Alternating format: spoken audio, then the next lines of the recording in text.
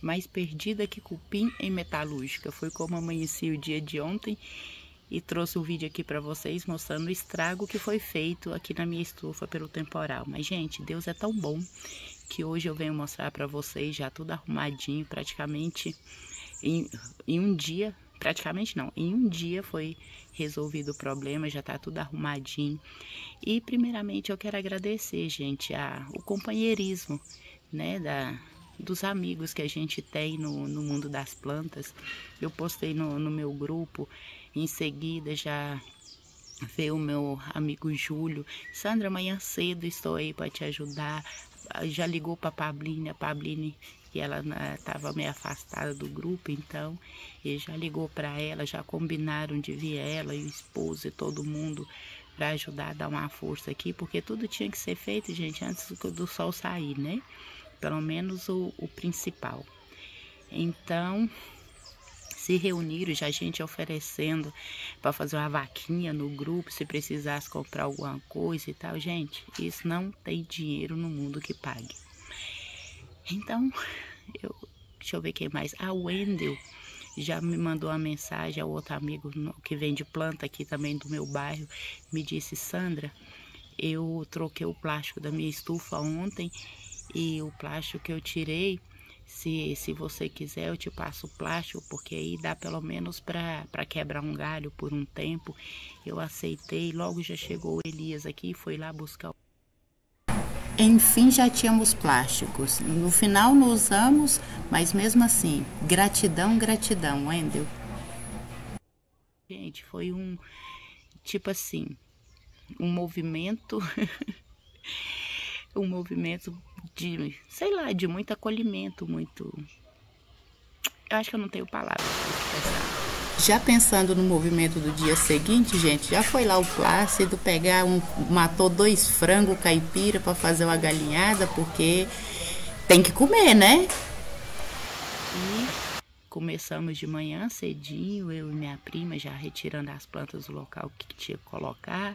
Veio Elias é, contabilizando o, os ferros que quebrou, pra, porque tinha que voltar a soldar novamente, né? Aí, bem, vou mostrar para vocês como ficou depois de, de tanto movimento, de, de tanto envolvimento de carinho e tudo. Vou mostrar para vocês como está agora. Só um pouquinho, gente, antes de mostrar como ficou, vou mostrar primeiro aí o franguinho já fritando. Olha que delícia, que cara que ficou.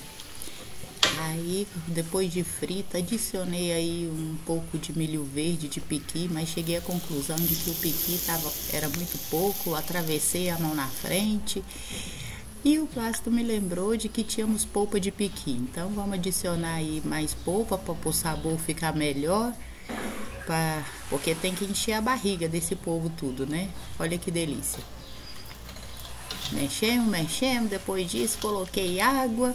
Você já sabe como que faz um arroz, né? Eu vou ensinar para vocês. E o resultado foi esse aqui. Olha que delícia. Vem almoçar comigo, vem. E eu não podia deixar de mostrar a alegria com que estava todo mundo trabalhando, gente. Olha aí vendo? Todo mundo mexendo para um lado, mexendo para o outro. Aí chega a criança com a escola e é assim como foi, como passamos o nosso dia. Então vamos lá, gente. Essa é a parte, né? Aqui e aquela outra parte que vocês vêem ali só com sombrite. Então, o que, que foi feito? Dessa parte aqui decidimos deixar só o sombrite, ficou duas telhas só ali, que estava em bom estado. Deixamos duas telhas, passamos sombrite por cima para ajudar a segurar ela. E as telhas que não quebraram de lá, a gente preencheu por essa parte aqui. Deixa eu dar a volta, ver se dá para ver melhor, porque tem que ser com, contra o sol. Aí, colocamos colocamos nessa parte aqui as telhas que tirou dali e decidimos que aqui vai ficar só o sombrite mesmo. Por quê, gente? O Wendel me deu plástico, mas o que que acontece? A caída aqui não é suficiente, a caída é muito pouca, então pensamos de toda forma, depois do plástico tá aqui tudo, pensamos de toda forma em colocar mas certamente quando chovesse ia dar bolha, porque a caída da água é muito pouca. Então, ó meu laguinho. Dessa parte ficou assim. Aqui tivemos que desfazer aqui parte da bancada para poder passar com a escada e tal. As plantas foram ali pro chão, vocês podem ver elas tudo ali no chão. Ainda falta colocar ela aqui de volta, né? Aproveitamos para dar a faxina nessa parte aqui que é de, de cerâmica, que, que fica plantas da minha coleção. Que teve que tirar as plantas aí, já aproveitamos para fazer uma limpeza que estava necessitada. Aí aqui no outro lote, que o sombrite tinha sido arrancado, o ferro que caiu foi soldado de novo. O sombrite já está colocado todo no lugar. Minhas plantinhas não sofreram nenhuma, gente. Não, não chegou a queimar, porque Deus é tão bom que nem aquele solão que estava fazendo os demais dias fez aqui ontem, entendeu?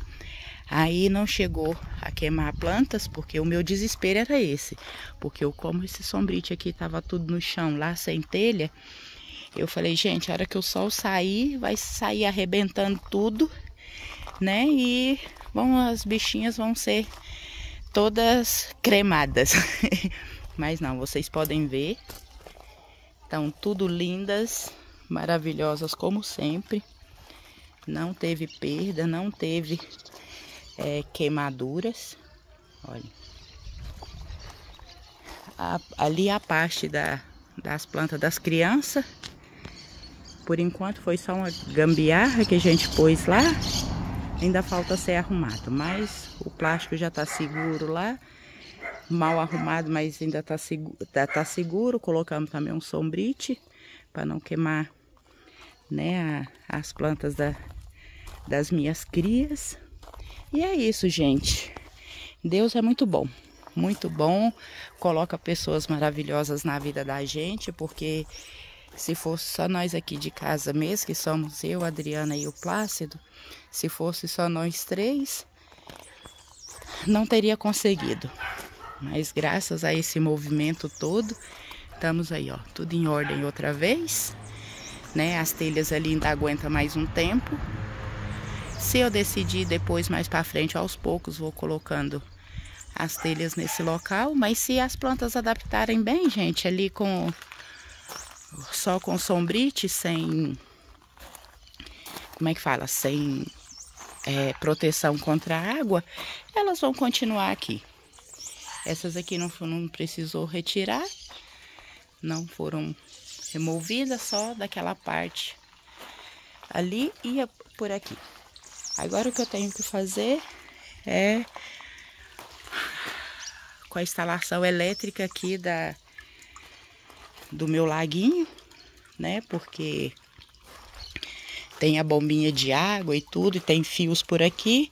Como vai ficar na chuva, vai ter que ser arrumado. Mas isso é apenas um pequeno, de, pequeno detalhe. Eu tenho que terminar essa parede, que tem quatro anos que eu tô esperando, ou que ela tá esperando ser arrumada, né? Que é a continuação aqui da decoração do meu lago. E pouco a pouco a gente vai arrumando. Gente, muito obrigada.